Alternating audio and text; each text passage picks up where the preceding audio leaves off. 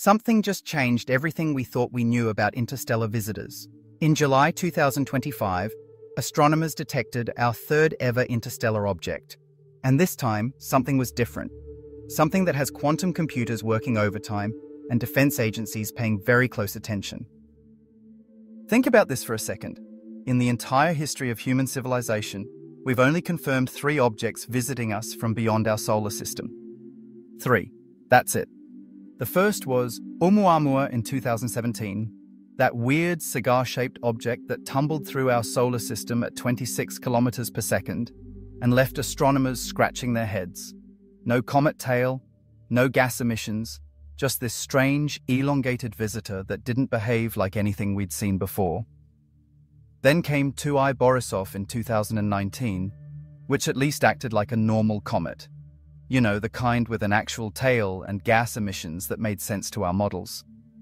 But now we have 3I Atlas, discovered in July 2025. And this one, this one is breaking records in ways that should probably concern us.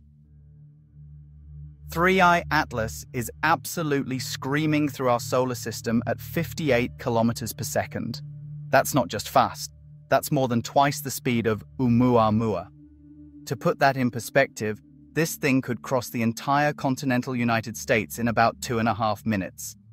Its orbit is what astronomers call sharply hyperbolic, with an eccentricity over six. Every planet, every asteroid, every comet born in our solar system has an eccentricity less than one. This visitor is so unbound by our sun's gravity that it's basically giving physics the middle finger on its way through. Recent observations show it's actively releasing water vapor as it approaches the sun, so we know it's a comet. But here's where things get weird. The reason we're catching these visitors now isn't luck, it's technology.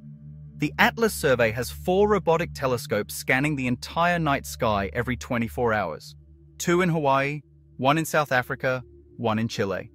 Each night, they're gathering hundreds of gigabytes of data, looking for anything that moves anything new, anything that shouldn't be there. John Tonry, who helped build Atlas, called it a cosmic burglar alarm, and that's exactly what it is humanity's early warning system for the rarest cosmic events. But here's the thing about finding a needle in a haystack you need to know what the needle looks like. For every billion objects passing through our solar system, only a handful come from another star the odds are absolutely brutal. Meanwhile, down on Earth, there's another silent guardian. The Deep Space Advanced Radar Capability, or DARC, operates 24 7, tracking thousands of objects in geostationary orbit. Rain or shine, day or night, this system can detect objects as small as 30 centimeters across from 22,000 miles away. Here's where things get overwhelming really fast. One night of modern sky surveys now produces more raw data than astronomers collected in the entire 20th century. Atlas alone generates over 200 million source detections per night.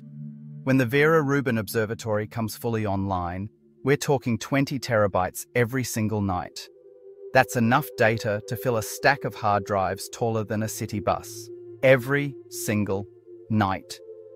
The problem isn't taking the pictures, it's finding what matters inside them. Most detections are routine catalogued asteroids, known satellites, atmospheric glitches. But hidden in that digital avalanche, maybe once or twice a year, something appears that shouldn't exist. By the time human analysts can confirm a real anomaly, the window for follow up observations might already be closed.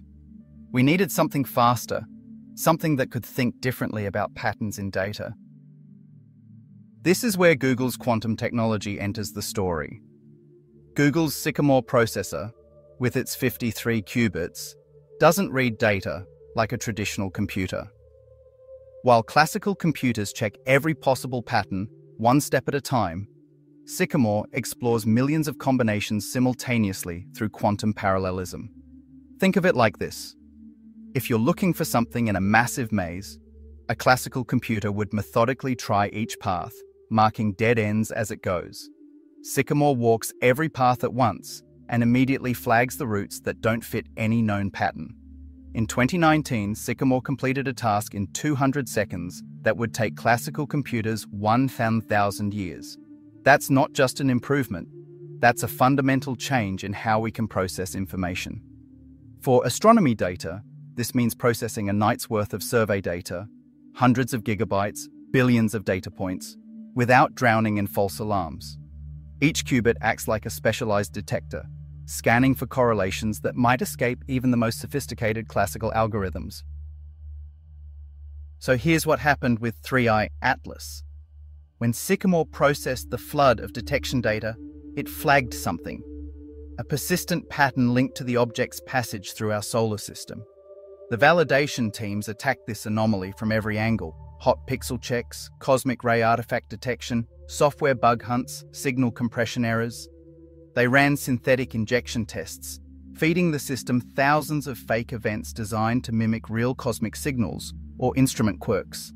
Independent software teams reprocessed the raw data from scratch. If the anomaly only appeared in one pipeline, it would be tossed as a processing artifact. After every filter, every audit, every statistical cross check, this signal refused to disappear. The final probability that this was just random noise? Less than 0.1%.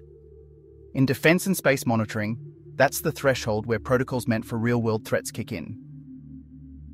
Look, let's be clear about what we know and what we don't. We have confirmed three interstellar objects Oumuamua, Borisov, and Atlas. That part is solid science. We have quantum processors that can find patterns in astronomical data faster than ever before. Also confirmed. What we have here is a statistical anomaly, a signal that passed every error check we could throw at it, with less than a 1 in 1000 chance of being random noise. But here's what we don't have any official explanation from NASA, Space Force, or any other space agency.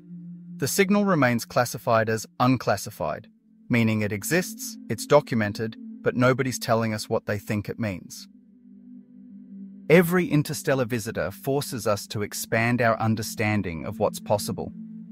These objects carry the chemical signatures of alien star systems, the gravitational stories of planets we'll never see, and orbital mechanics shaped by forces millions of years in the making. The fact that we can now detect anomalies in the data from these visitors patterns that resist every known explanation. That's not just a technical achievement. It's opening a door to questions we didn't even know how to ask before.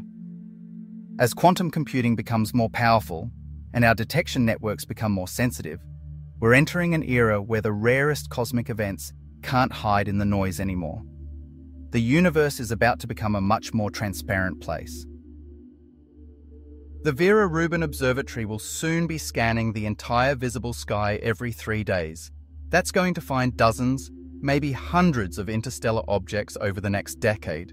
Each one will be subjected to the same quantum analysis that flagged the Atlas anomaly.